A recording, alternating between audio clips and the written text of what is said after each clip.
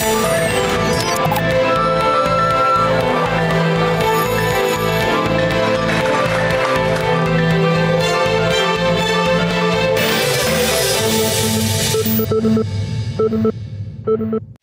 Время платить налоги. Так я сформулирую тему сегодняшней нашей беседы. До 2 декабря граждане, которые владеют недвижимостью, автомобилем или другим транспортом, дачей, гаражом и земельным участком, должны оплатить налог на имущество за 2018 год.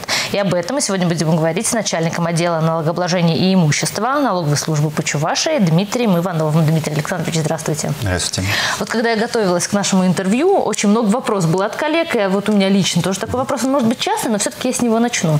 Предположим, семья купила в ипотеку квартиру в 2016 году, и в начале 2019 года они оформили собственность. Вот сейчас, то есть они должны будут заплатить имущественный налог или еще не пришло время?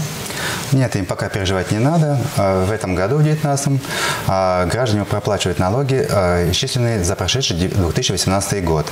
А владельцы же те, которые приобрели имущество, зарегистрировали свое право в текущем 2019 году, налоги будут исчисляться только в следующем 2020 году. То есть если в 2018 они зарегистрировали собственно, у них как раз придет да, в этом году должно верно, прийти да, налоговое да. уведомление.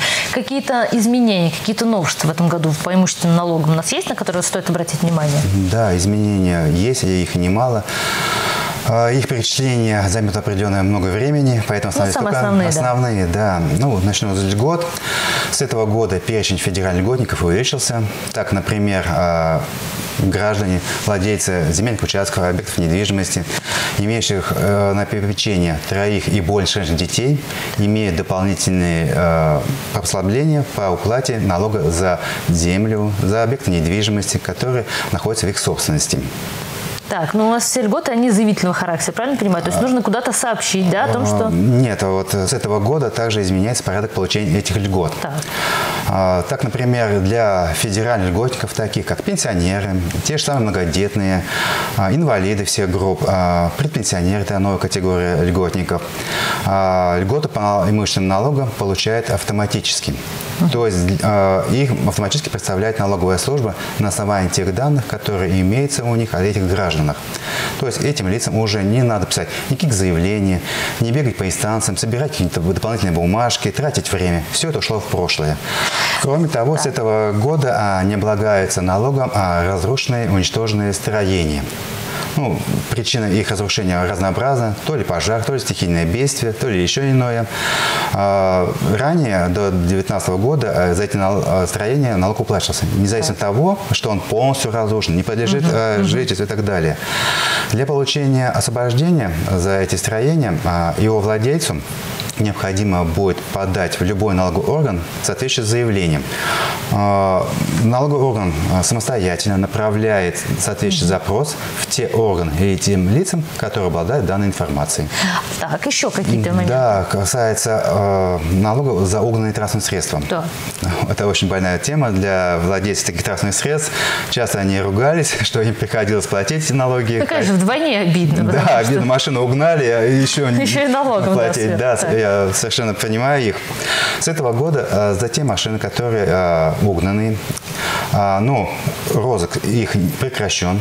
У нас по правилам по истечению определенного периода времени, 6-9 лет, розыск машин прекращается. И даже в том случае, если раньше данное транспортное средство не возвращалось владельцу, налог уплачивался. Теперь это ограничение несправедливое снято. Теперь в том случае, если машина угнана, и она не возвращена его владельцу, налог за эту машину уплачивать не надо до тех пор, пока она не будет возвращена в полном объеме гражданину. Так, вот я правильно понимаю, что чтобы заплатить налог, нужно получить уведомление, да, или знать, что, сколько платить там и так далее, куда платить. Вот если все-таки по почте не получил гражданин уведомление, что делать? И, например, если точно знает, что имущество у него есть, и налог, соответственно, должен быть. Ну, сразу хочу сказать, что не все и не всегда должны получать налоговое уведомление. Так. Не во всех случаях. Так, кто не должен? В каких? Вот рассмотрим случаи, да? Первое. Когда сумма платежа налогового составляет менее 100 рублей. Налоговое уведомление не направляется. Оно не говорит о том, что он никогда не будет платить этот налог за имущество. Он будет уплачивать, но по истечению определенного периода времени. Либо, когда сумма налоговых платежей наберется более 100 рублей, либо по истечении трехлетнего периода, э, за который необходимо платить налог. Ну, я понимаю, потому что наверняка, да, организовать процесс, вот это, напечатать уведомление, mm-hmm. разослать, это выходит ну, нерентабельно, да, да, дороже, чем, Да, например, совершенно верно говорите, да. Э, ну, сразу хочу э, сказать, что за этот период неуплаченный пени не начисляется, потому что налог не рассчитывался. Он аккумулировался, собирался, эта информация об этих налоговых платежах, но не направлялся в связи с тем, что правильно сказали, чтобы не расходы большие были, не нести такие определенные затраты до его доведения. Так, а может еще по каким-то причинам не дойти уведомления? Да, совершенно правильно. А в том случае, если владелец имущества, земельных участков и транспортных средств по той или иной причине освобождается официально от уплаты налогов. Угу, если это имущество. льготником. Да, совершенно правильно, он льготник. И еще одна категория граждан, которые не получают налоговое уведомление по почте на бумаге. Это те граждане, которые подключились э, к электронному сервису на сайте Федеральной налоговой службы а, личная кабинетная платежка для физического лица. Угу. Налогоуведомление им направляется в электронном виде. Адрес сайта давайте напомним, да, вот где нужно получить а, Адрес сайта это вообще известный www.налог.ру Налог.ру. Да, вот там верно. можно завести. И если, значит, я завожу там личный кабинет, вернее, регистрируюсь, угу. то, значит, я автоматически отказываюсь от письменного уведомления по почте? А, да, автоматически вы отказываетесь, но в том случае, если все-таки хотите вы получать на бумажном носителе а, это налогоуведомление, вы можете отказаться от получения в электронном виде. В этом случае вы даже являясь пользователем электронного сервиса, будете получать налогообновление на бумаге по почте. Если человек по той или иной причине, даже зная о том, что у него все-таки начислен налог, что он является льготником, не заплатил до 2 декабря, вот даль... чем грозит это ему? Если э, наплательщик в срок не платит налоги, то ему, ну, напомню, что это 2 декабря, то ему автоматически с 3 декабря будет начисляться пени. Так. Если э, начинается пенин, направляется ему требование на уплату задолженности. Уже все-таки по почте. По почте, виде. да. Либо также вот в электронном виде, если он э, пользуется э, электронного так. сервиса.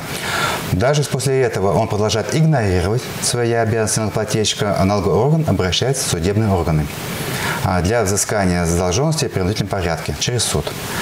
После того, как э, судебный орган вынесет соответствующее решение, и налог также не погашен, задолженность, в дело поступают уже приставы.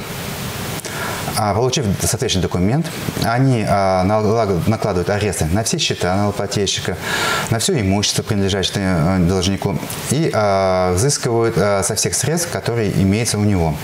Кроме того, они могут наложить запрет на выезд должника за границу.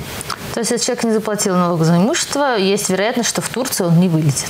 Буквально сегодня я прочитала mm-hmm. такую информацию, что Федеральной налоговой службе предупредили о поддельных налоговых извещениях, фиктивных письмах, которые люди получают, видимо, по почте. Mm-hmm. Я так понимаю, налогоплательщиков просят с помощью QR-кода перевести задолженность на счет, ну, естественно, мошенников. Вот как не перевести налог мошенников?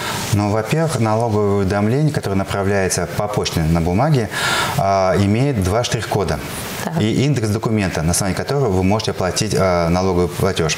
В том случае, если вы сомневаетесь в достоверности этого платежного документа, вы можете подойти в любое отделение Сбербанка, в любое отделение кредитного учреждения, где работник этого кредитного учреждения с помощью э, аппарата сосчитает данный штрих-код и подтвердит его достоверность или недостоверность. И только в том случае, когда э, будет подтверждена правильность этого налогового платежа, платежку можно оплатить.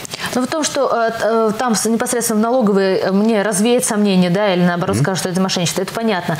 А вот все-таки как усомниться, да, потому что люди же сейчас как, ну, не любят никуда ходить, у всех есть смартфоны и так далее. Во- как усомниться? Во-первых, э, на бумаге налоговое э, уведомление направляется э, почтовый корреспондент заказным письмом. Так. Mm-hmm. Заказное письмо, получив э, Почта России, не кладет в почтовые ящики, mm-hmm. а непосредственно дает лично в руки. Ну что ж, уважаемые телезрители, если у вас еще остались вопросы, то наверняка в налоговой будет э, в ближайшее время день открытых дверей, да, когда, где, куда приходить. Да, совершенно верно. Проведение мероприятия стало доброй традицией для нас. Так. Этот год стал, не, не стал исключением. 25 октября, то есть в пятницу, будет проводиться данное мероприятие во всей территории Российской Федерации, в том числе и на территории Чувашии. К этому времени, да, к 25 октября, скорее всего, все налоговые уведомления налогоплательщики уже получат. Да, Можно будет надеемся, да, да возникнут, может, вопросы с этим налоговым уведомлением, и мы их развеем. Ну что, спасибо большое. Я Напоминаю, об оплате имущественных налогов мы сегодня говорили.